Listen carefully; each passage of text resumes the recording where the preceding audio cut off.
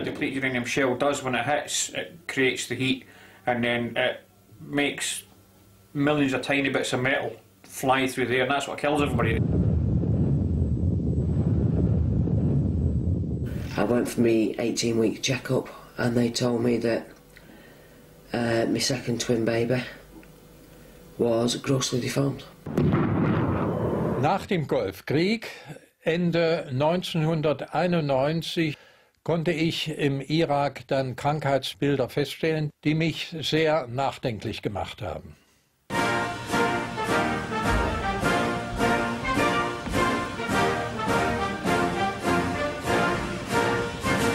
My fellow Americans, major combat operations in Iraq have ended. In the Battle of Iraq, the United States and our allies have prevailed.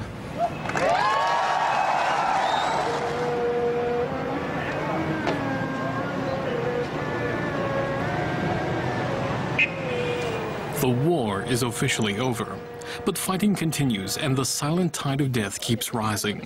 This is the Mother and Child Hospital in Basra.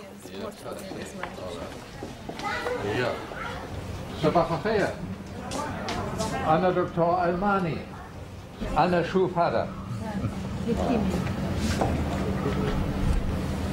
What is the age?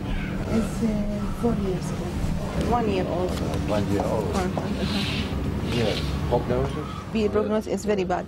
80% die, mortality 80%. As we know, the DU may be transmitted by the wind and uh, involve uh, the everything is contaminated now. The air, the soil, the food is contaminated by this material. Thank you. Thank you. Yes, well, we This skin disease is fish-like mouth and eyes. They will die. Sind alles schlechte Prognosen hier. Die Kinder leben alle nicht mehr lange. Und furchtbare Situation. Das bedrückt mich alles so, wenn ich das sehe. Furchtbar, furchtbar, furchtbar.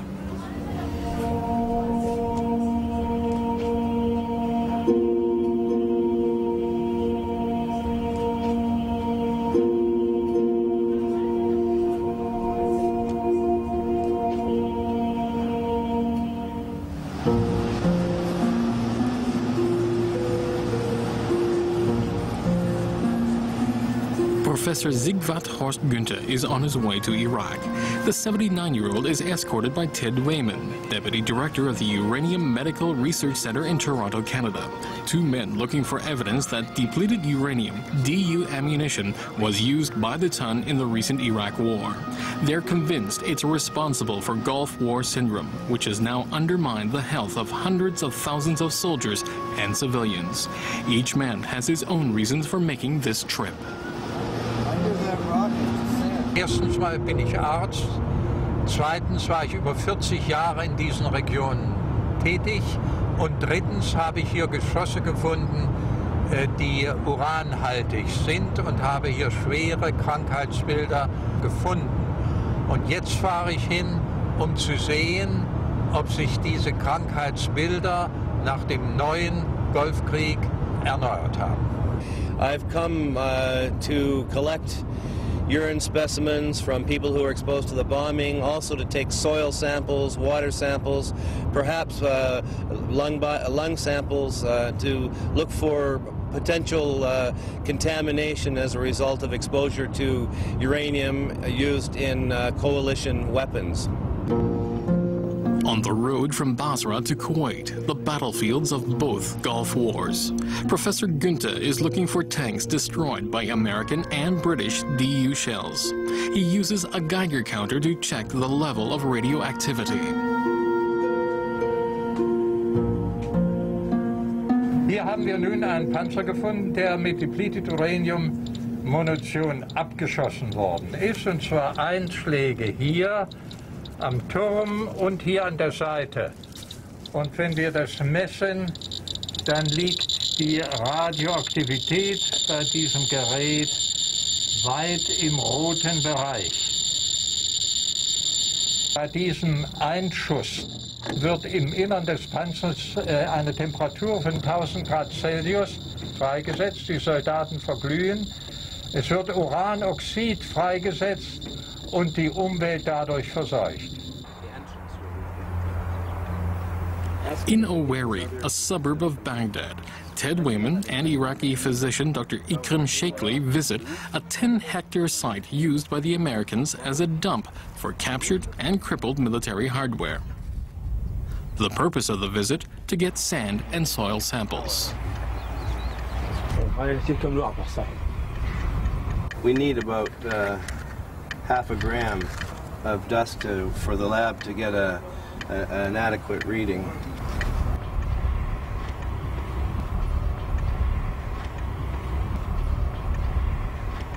When we were here two days ago, the children were scavenging and salvaging the, um, the metal to sell to the scrapyards. The dust was three, four, five inches thick.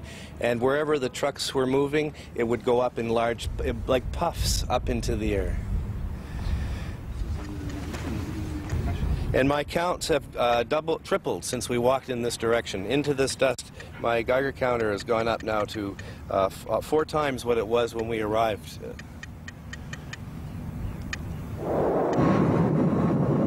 Uranium munitions were used for the first time by U.S. and British Allied forces in the 1991 Gulf War.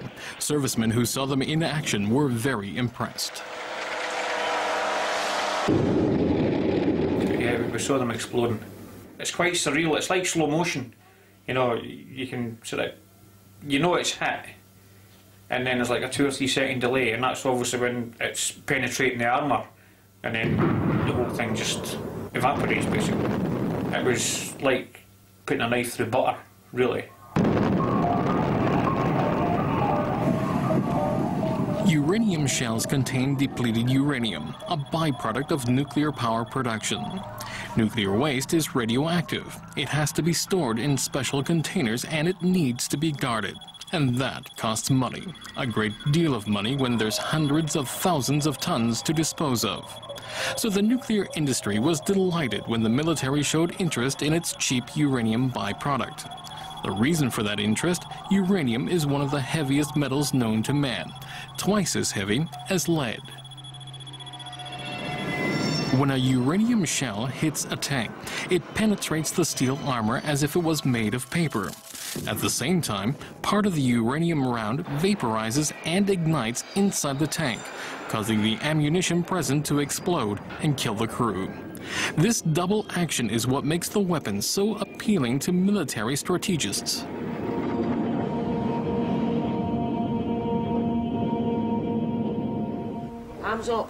Jenny Moore is a DU victim, and this is where her troubles began.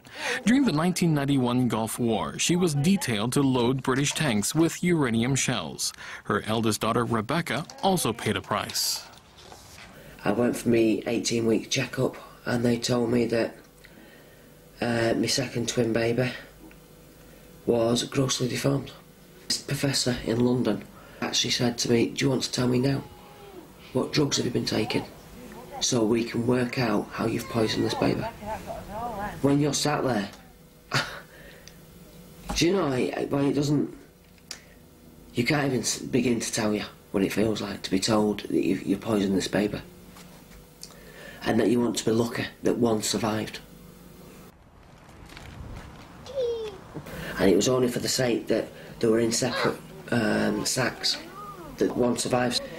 Um, come the 24th week, Emily died, and I had to carry on being pregnant with her because obviously I was carrying Rebecca at that time.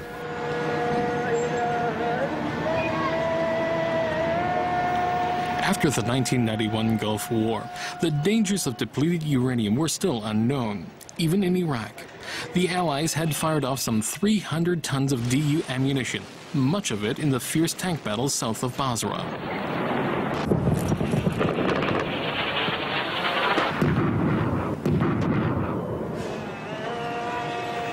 When Professor Günther received a call to Basra after the war, he knew nothing about DU munitions either.